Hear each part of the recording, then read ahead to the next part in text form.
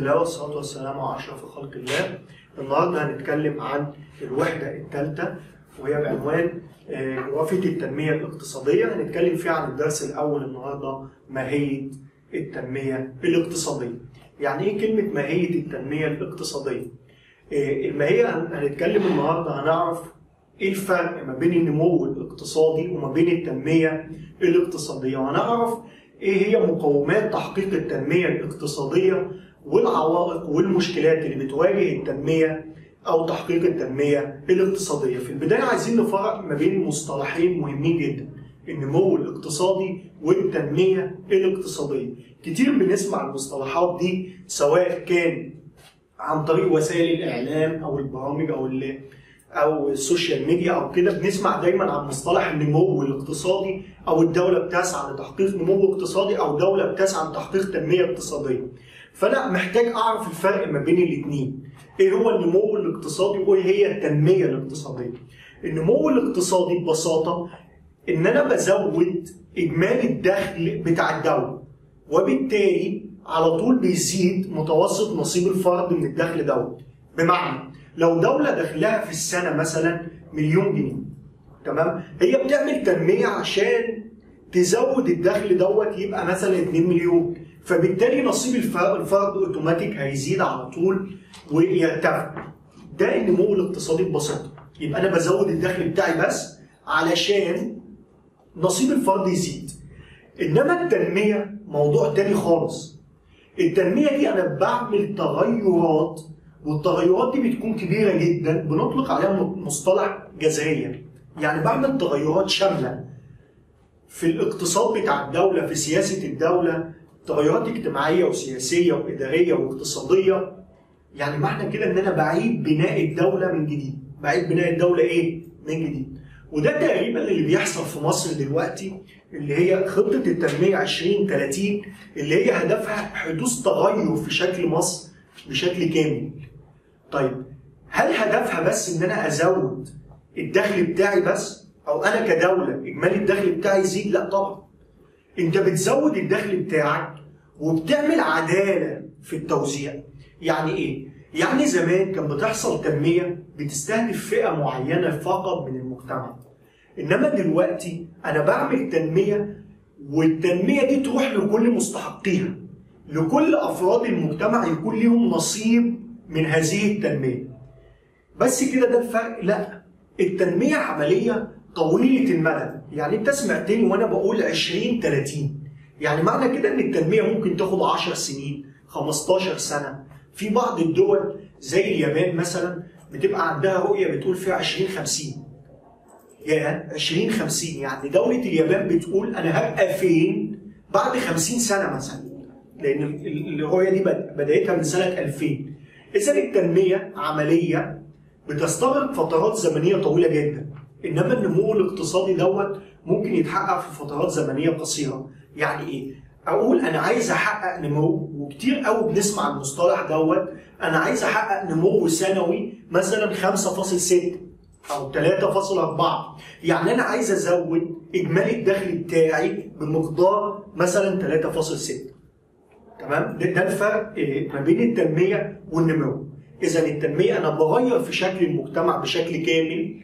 وبعمل يعني إيه عداله في توزيع الموارد الاقتصادية بينما النمو الاقتصادي لا أنا مجرد بس إن أنا بزود دخل الدولة وبالتالي بيزيد نصيب الفرد من هذه الأموال تعالوا نشوف بقى مع بعض إيه، أدي المفهوم قدامنا أهو اللي هو بيقصد بيه تحديد زيادة في اجمالي الناتج المحلي والذي يؤدي إلى زيادة مستمرة في متوسط نصيب الفرد من الدخل.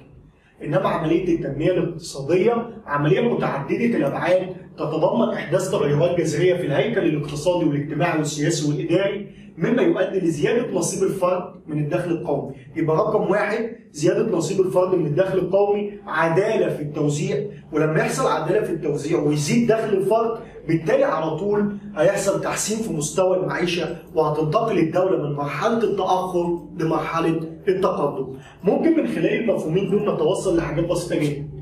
إن النمو تع- بيحصل فيه تغير في كمية الجوانب الاقتصادية، زيادة في ثروات المجتمع يحدث على المدى القصير ويسبق عملية التنمية، يعني أنا عشان أعمل تنمية لازم أعمل نمو قبليها.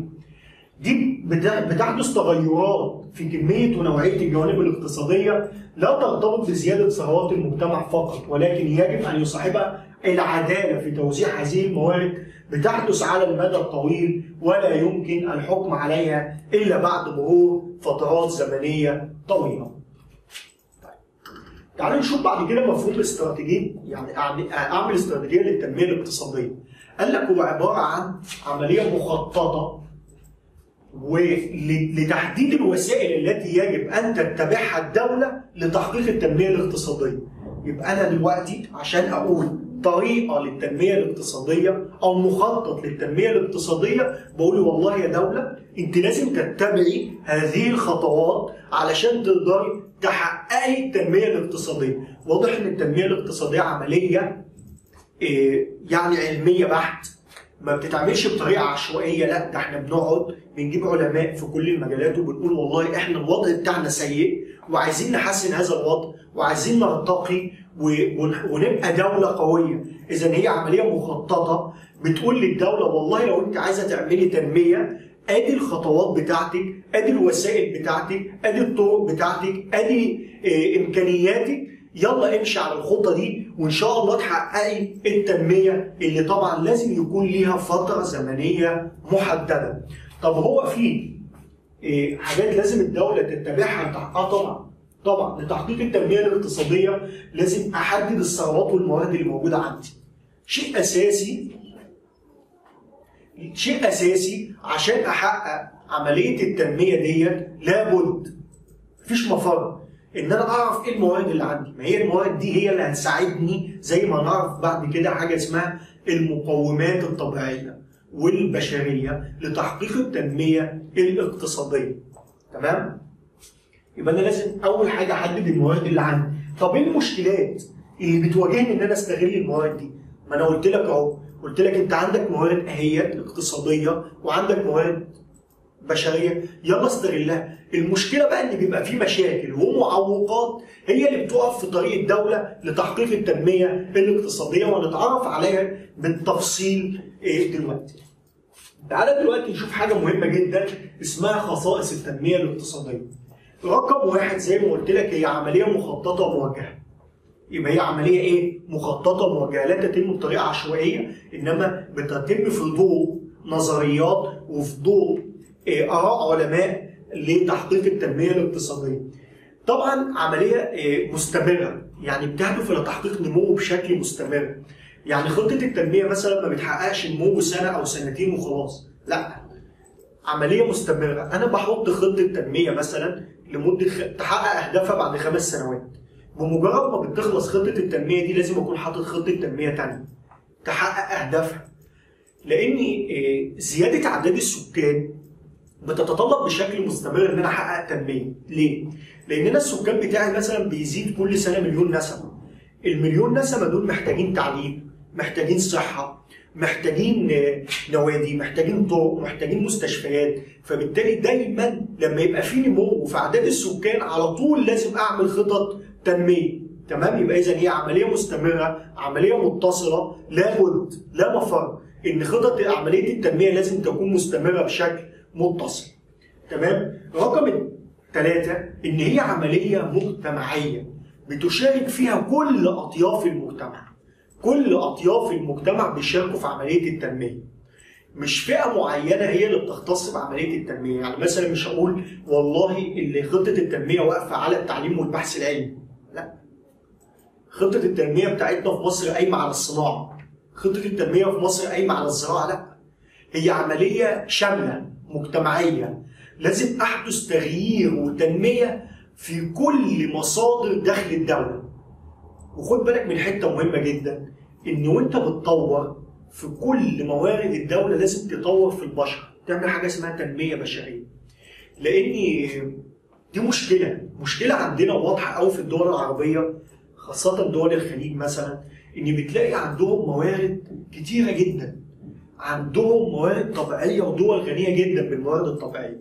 ولكن البشر اللي هو العنصر المستخدم لهذه الموارد واللي هو بيحرك هذه الموارد واللي بينميها هو عنده مشكلة. هو بيستغل هذه الموارد بشكل سيء. هو بيعمل استنزاف لهذه الموارد. فبالتالي لأن لما أعمل عملية تنمية بتبقى عملية شاملة. عملية كاملة. لكل فئات المجتمع وكل مصادر وموارد هذا المجتمع. تحقيق أكبر قدر من العدالة. ودي شيء مهم جدا بقى. لازم لما أعمل تنمية يبقى في عدالة. يعني التنمية دي ما تخص ما تخص ما تختصش قطاع من المجتمع وتسيب قطاع تاني. يعني مثلا لما أجي اعمل تنمية لازم تشمل كل فئات المجتمع. تعال نعمل مثلا مثال كده لجمهورية مصر العربية. كنا في فترات زمنية بعيدة كانت دايما عملية التنمية بتنال محافظة القاهرة والجيزة مثلا وبعض محافظات الوجه البحري. تلاقي في تنمية في تطور فيها. وتلاقي مثلا محافظات الصعيد لا بعيد قوي في, في مسافة جامدة قوي في التنمية ما بين المحافظات دي وما بين القاهرة والجيزة. وبعض محافظات الوجه البحري مثلا زي اسكندرية والمنوفيه وغيره. لا اذا لابد إن عملية التنمية يصاحبها عدالة في التوزيع.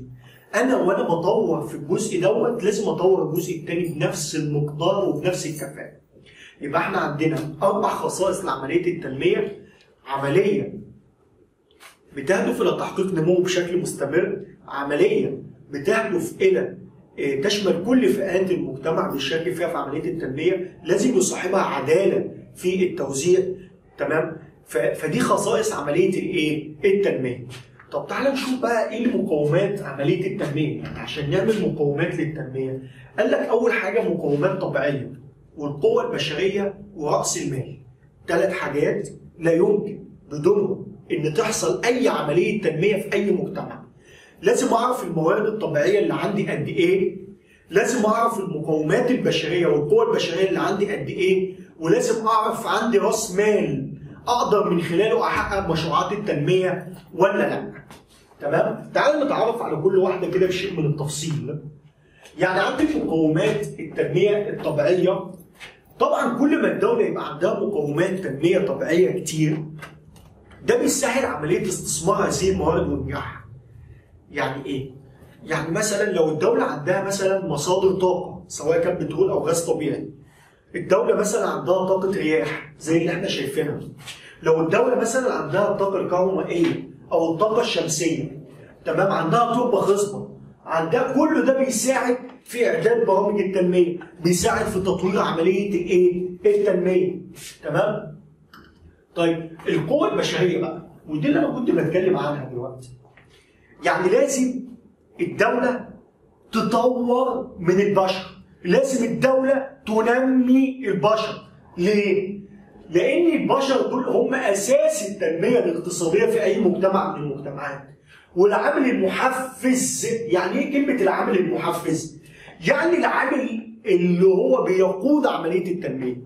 العامل اللي هو بيحرك لي عملية التنميه تمام؟ اللي هو بيستثمر الموارد الطبيعية بشكل جيد. اللي هو بيستثمر إيه؟ الموارد الطبيعية بشكل إيه؟ جيد تمام؟ بما يمتلكه من معارف ومهارات. أنت النهارده لو عندك عامل بتطوره وبتنميه بشكل مستمر بتعمل طفرة ليه بشكل مستمر فبالتالي معدلات إنتاجه هتزيد لأنك أنت دربته ورفعت كفاءته.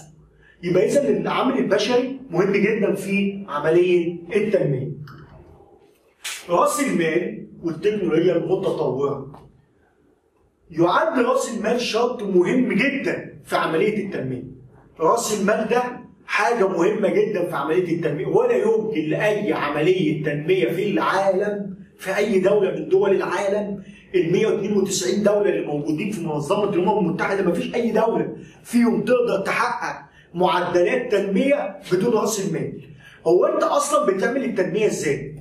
يعني لو اتكلمنا مثلا في تنمية الموارد الطبيعيه عشان تبني مصنع يزود الإنتاج فلوس عشان تبني شركة فلوس عشان تعمل شبكه طرق فلوس عشان تعمل برامج تدريبية لرفع كفاءة السكان فلوس رأس مال إذا لا يمكن لا يمكن لأي دولة من العالم إن هي تقدر تعمل عملية تنمية بدون رأس مال تمام علشان كده دايما الحكومات بتسعى وبشكل كبير جدا إن هي توفر احتياجاتها المالية. توفر احتياجاتها المالية بقى عن طريق مثلا تصدير سلع عن طريق آه، مشروعات تنموية. يعني لازم في الآخر الدولة توفر فلوس عشان تقدر تحقق مشروعات التنمية. ولا شك إن استخدام التكنولوجيا الحديثة واستخدام التقنيات الحديثة تمام مهمة جدا في عملية التنمية لأنها بتقلل الدخل بشكل بت- بتقلل نفقات الإنتاج بشكل كبير جدا فبتساهم في نجاح مشروعات التنمية ومجالاتها. طيب معوقات التنمية إحنا قلنا إن إحنا نعرف إيه إيه طيب إيه إيه اللي عندك عشان احقق التنمية؟ طب إيه المشكلة بقى؟ ما أنا قلت لك إن أنت عندك كذا وكذا. في معوقات بتقابلني في مشاكل بتقابلني في إن أنا أحقق معدلات التنمية. المشاكل دي قد تكون اقتصادية أو قد تكون اجتماعية أو قد تكون سياسية أو قد تكون إدارية. تعال نشوف الأول المعوقات الاقتصادية. واضح كده المعوقات الاقتصادية مرتبطة بمحدودية الدخل الاقتصادي أو الموارد الاقتصادية سواء كانت موارد المياه أو مصادر الطاقة. في دول كتيرة جدا عندها مشكلة في مصادر الطاقة، عندها محدودية في مصادر الطاقة، ما عندهاش بترول وما عندهاش غاز طبيعي، ودي الحاجة الرئيسية اللي بتح... اللي في ضوءها بتتحرك كل المعدات وكل الآلات. مش كده وبس وعندها محدودية في الموارد المائية. كده وبس لا. وعندها كمان مشاكل في البنية التحتية. ودي حاجة مهمة جدا ونقطه مهمة جدا. إن الدول اللي بتسعى لتحقيق عملية تنمية اقتصادية حقيقية لابد لا مفر. من إن هي تعمل بنية تحتية على أعلى مستوى. تعمل شبكة طرق تربط الدولة وتخليها قريبة من بعضيها. ليه؟ علشان المستثمر اللي جاي عايز يتنقل من مصنع لمصنع تاني اللي موجود في اسكندرية مثلا ومصنع تاني موجود في القاهرة. عايز يروح في ساعة زمن. عايز يروح في نص ساعة. مش عايز يضيع يومه في النقل والمواصلات. إنه يتحرك من مكان للتاني. فلازم أعمل شبكة طرق كويسة. لازم أعمل مصانع. لازم أعمل شركات لازم أعمل صرف صحي لازم أعمل كهرباء لازم أعمل مياه البنية التحتية دي هي الركيزه الأساسية اللي بتقوم عليها عملية التنمية الاقتصادية زي اللي بيحصل في مصر. يعني شايفين مصر عمالة تعمل طرق وعمالة تعمل كباري وعمالة تعمل آه، بنية تحتية مصانع وشركات وي وي وي وي وصرف صحي ومحطات كهرباء كبيرة على أعلى مستوى بتولد آه، ملايين الميجا واتات كله ده هدفه إيه؟ هدفه إن الدولة تبقى ركيزه جاهزة للاستثمار وتحقيق التنمية الاقتصادية. بعد كده نقص الموارد المالية فالدوله ما بيبقاش عندها فلوس فالجهاز المصرفي عندها يبدأ يبحث عن آه، مدخرات تمام يبدأ يبحث عن فلوس كمان الدولة ديت ممكن تواجه في عملية نقص في ال- ال- الموارد الموارد المالية فتتجه لإيه؟ لعمليه الاستدانة من الخارج وده بيبقى عبء كبير جدا على عملية التنمية. أنت عمال تعمل تنمية وعمال تستدين من الخارج فبالتالي التنمية بياكلها الدين فمش بيحس بيها المجتمع. بعد كده نشوف المعوقات الاجتماعية. وبتواجه عملية التنمية العديد من المعوقات زي البطالة، زي الفقر، زي الأمية، زي العشوائيات، تمام؟ آه، زي انخفاض مثلا المستوى الفكري والثقافي. آه، دي كلها مشاكل اسمها مشاكل اجتماعية متعلقة بالمجتمع اللي بتتم فيه عملية التنمية. في بطالة في شباب كتير مش عارف يشتغل في أمية كتير جدا من المجتمع مش عارف يقرأ ويكتب. في مشكلة عشوائيات مباني غير مؤهلة وغير منظمة. الدولة بتواجه مشاكل في تطويرها تمام؟ دي كلها معوقات آه، بتواجه عملية التنمية. زي مثلا انخفاض المستوى التعليمي والصحي برضه مشاكل بتواجه عملية الإيه؟ التنمية. تمام؟ طيب تعالوا نشوف المعوقات بقى السياسية. ودي عشناها في مصر إيه ويمكن أنتوا حضرتوا المشاهد اللي حصلت في مصر التضارب السياسي وعدم الاستقرار السياسي وتغير السلطات كلها دي عوامل تعيق عملية التنمية عن تحقيق أهدافها. التضارب في الأمن عدم استقرار سياسي تغير أنظمة الحكم بشكل مستمر.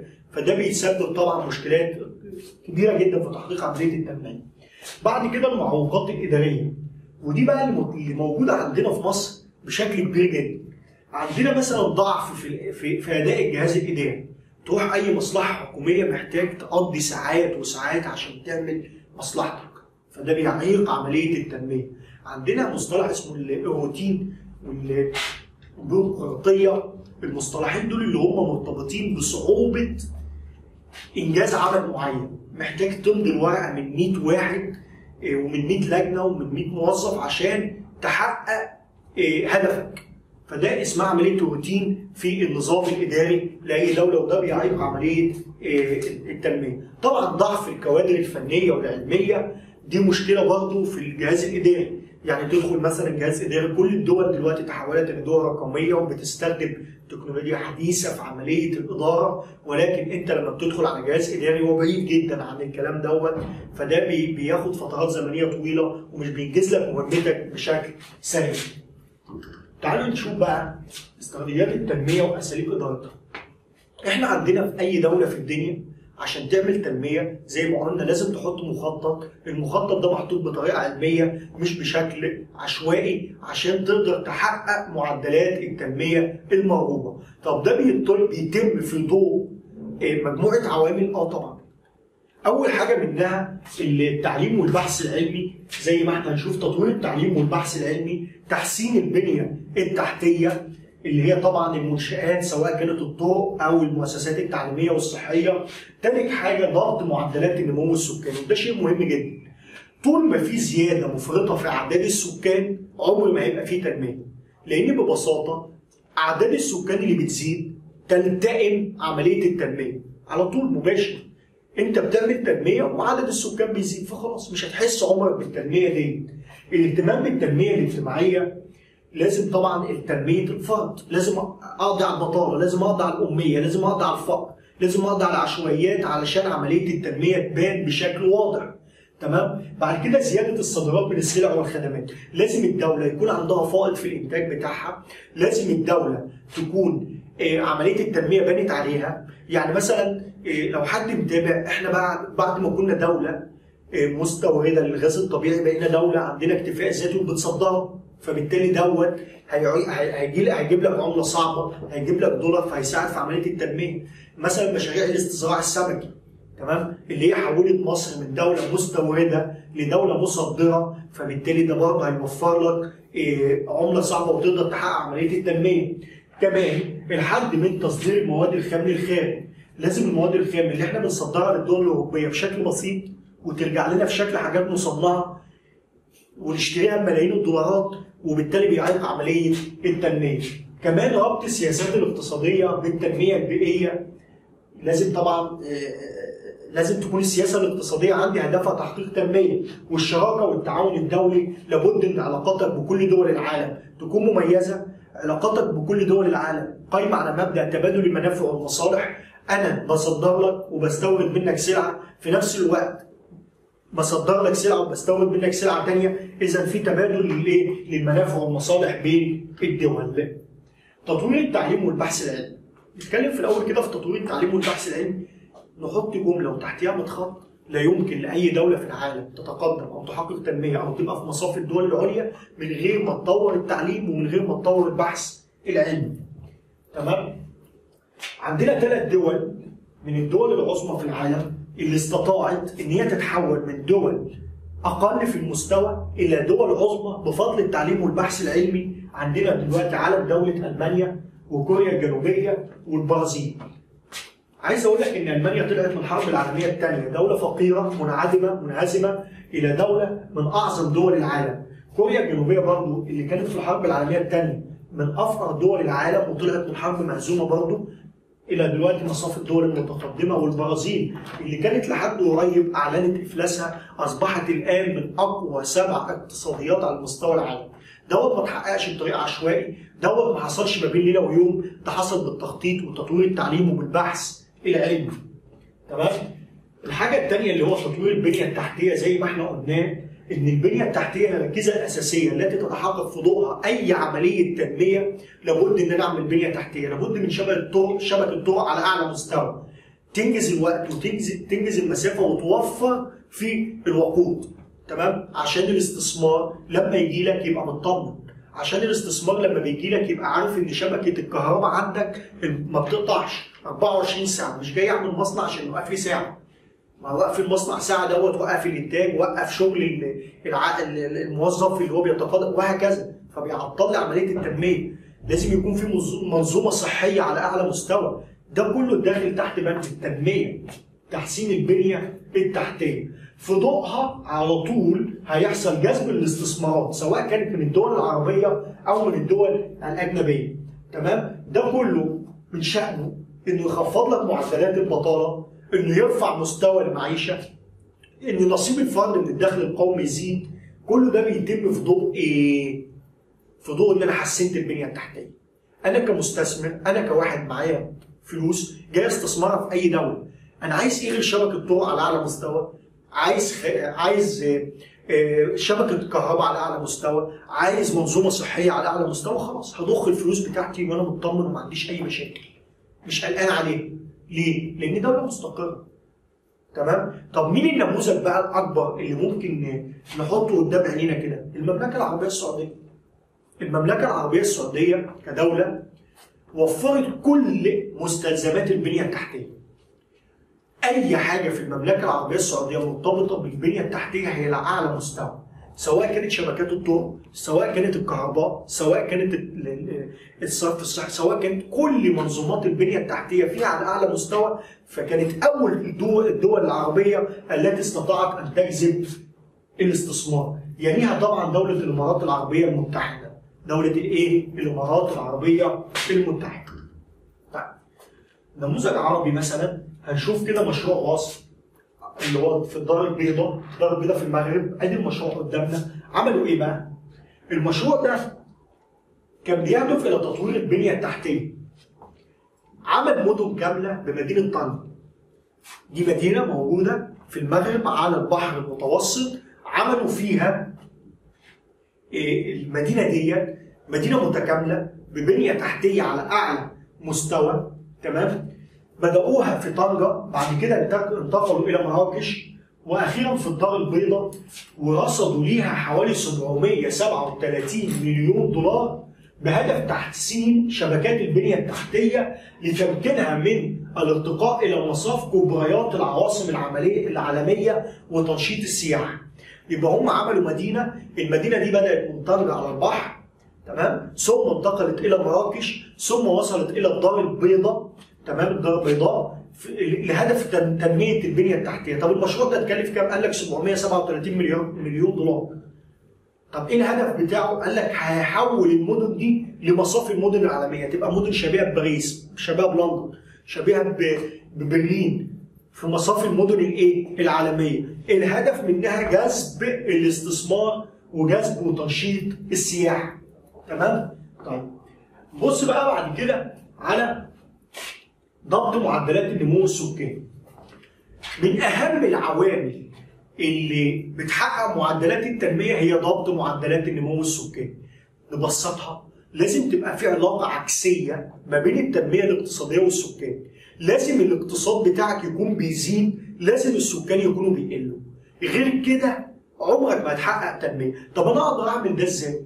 من خلال برامج تنظيم الاسره خفضوا معدلات السكان من خلال برامج توعية. ابدا أقول للسكان يا جماعة إحنا لازم نخفض معدلات النمو السكاني لأن السكاني كتير بيلتئموا التنميه بعض الدول لجأت لحاجات تانية اللي هي إيه بقى؟ قانون. والله أنت بعد الابن الثاني ده خارج الدولة ملوش أي دعم من الدولة. هو مواطن يعيش في هذه الدولة ولكن أنا كدولة مش هدعمه.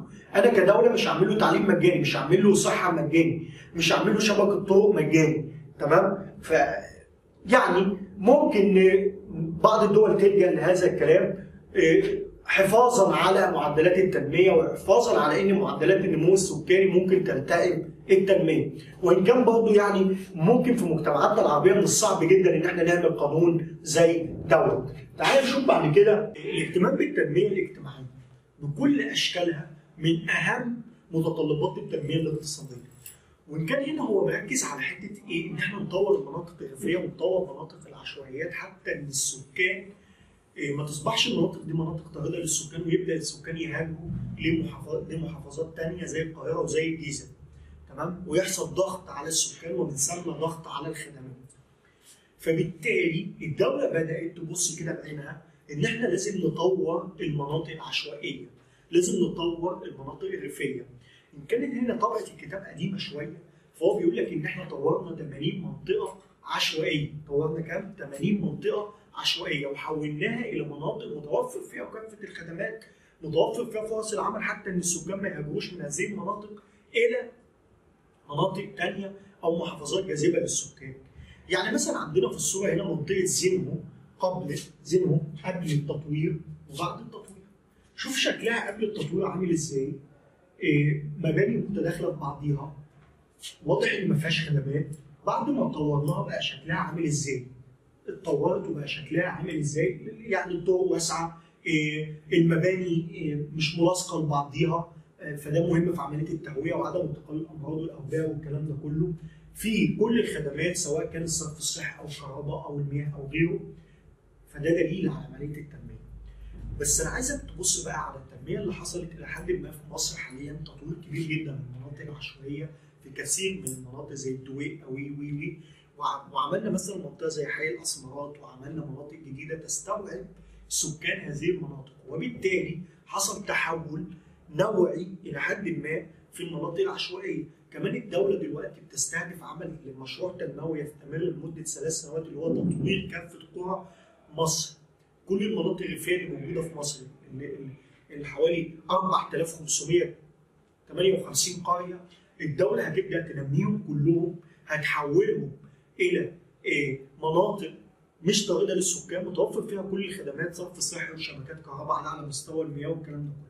نأمل إن خطة التنمية دي تتحقق علشان تحقق أهدافها وتتحول هذه المناطق من مناطق طارده للسكان إلى مناطق السكان فيها مستقرين ويعني متوفر لهم كل سبل الحياة وده هدف من أهم اهداف التنمية اللي هو العدالة في التوزيع.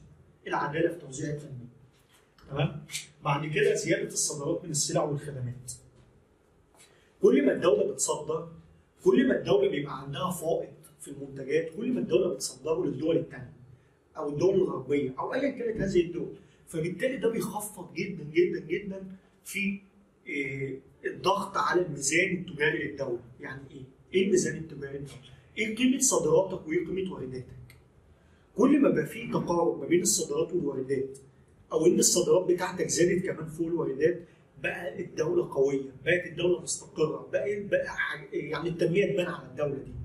طب أنا عشان يبقى الصادرات بتاعتي كتير لازم انتج كتير لازم يحصل تنمية تمام سبق وقلنا مثلا الغاز الطبيعي كنا دولة مستوردة ليه أصبحنا دولة مصدرة ليه فالفلوس اللي أنا كنت بدفعها واجيب بيها غاز طبيعي بقت متوفرة عندي.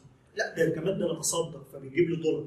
من بره تمام؟ فعشان كده الدولة لازم لازم في عملية التنمية تزود منتجاتها تصدر لبره فيبقى في رأس مال تقدر تعمل بيه مشروعات تنموية. تمام؟ اللي هو حيث تعمل الدولة على توفير السيولة من العملة الصعبة اللازمة عن طريق إيه؟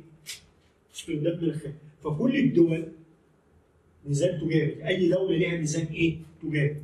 لو قيمة الصادرات بتاعت الدولة أكبر من واردات الدولة تمام؟ يبقى إذا الدولة دي قوية. طب لو حصل العكس يبقى الدولة ضعيفة. الحد من تصدير المواد الخام. ودي مشكلة بقى كبيرة جدا. عندنا في كل الدول العربية وكل الدول الأفريقية بنصدر المواد خام.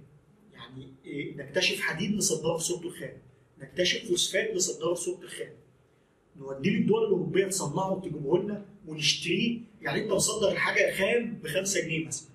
تيجي تستوردها من بره تستوردها في شكل بقى حاجة مصنعة بقى عملوا فيها يعني تمام؟ فتستوردها ب 100 جنيه. الحاجة اللي أنت موديها ب 5 جنيه بقت بتجيبها ب 100 جنيه. ليه؟ لأن هم بقى عندهم حاجتين. عندهم المصنع يعني عندهم الآلة وعندهم البشر الأيدي العاملة المهرة. فحول الحاجة اللي هي ليس لها قيمة لحاجة مصنعة ذات قيمة. فحضرتك تستوردها بقى بملايين الدولارات وبالتالي بيؤثر على اقتصاد الدولة. بالتالي بيؤثر على إيه؟ على اقتصاد الدولة. طبعا والمثال اللي الاكثر وضوحا دول الخليج العربي اللي بتصدر البترول والغاز الطبيعي في صورته الخام. يشغلوا بيه المصانع ويجيبوا لنا بيه المواد المصنعة نستوردها بملايين الدولارات ومليارات الدولارات. فيعني موضوع صعب ولازم الدول في عمليه التنمية تاخد بالها من حد من تصدير المواد الخام إلى الخارج. ربط السياسات الاقتصادية بالتنمية البيئية. حلو قوي الموضوع ده لازم وأنت بتعمل تنمية اقتصادية تحط في بالك أو تحط في اعتبارك عملية البيئة إن أنا أحافظ على البيئة إنما أنا ما ألوثش البيئة يعني مثلا مشكلة الصناعات الحديثة بعد قيام الثورة الصناعية في القرن ال 19 إن هي تلاشت موضوع الحفاظ على البيئة فظهرت عندنا مشكلات كبيرة جدا زي التغير المناخي زي التمام والاحتباس الحراري وانتشار الأوبئة والأمراض زي زي اللي إحنا موجودين فيه دلوقتي كورونا وقبل كده سارس والإنفلونزا الاسبانيه كلها دي أمراض انتشرت بفضل التقدم الصناعي. إن أنت ما خدتش بالك وأنت بتعمل صناعات إن أنت ما تأثرش على البيئة.